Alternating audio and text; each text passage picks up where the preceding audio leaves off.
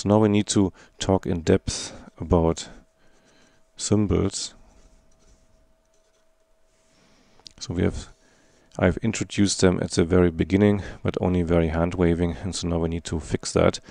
So remember, symbols um, appear here when we are converting our digital data stream into an analog or into into something with a signal we, we can transmit. So the signal lives in the so-called baseband.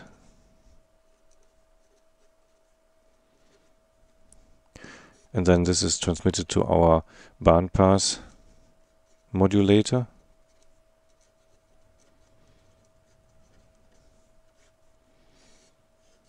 And then this is here going to our aerial and transmitted to the receiver. So the S of T's, they are um, so they're so they're low pass filtered or um, baseband located signals, and um, so they can be real valued, or they can be also complex valued.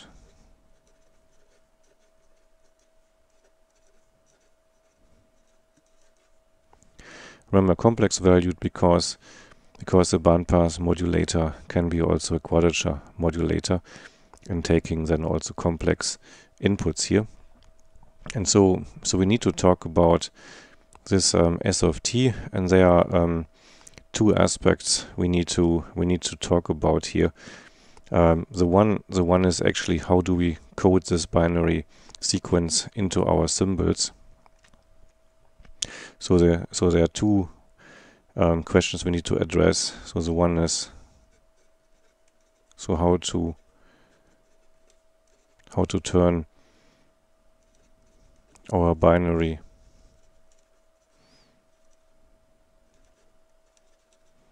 sequence into into symbols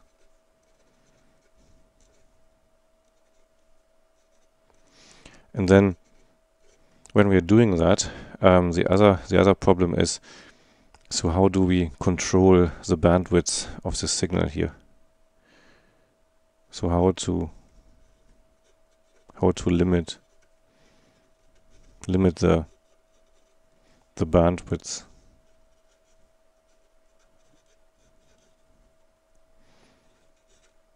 The bandwidth of S of t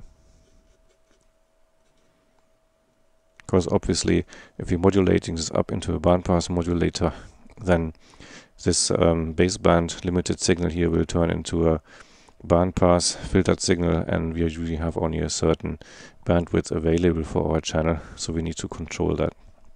So we need to discuss these um, two aspects here.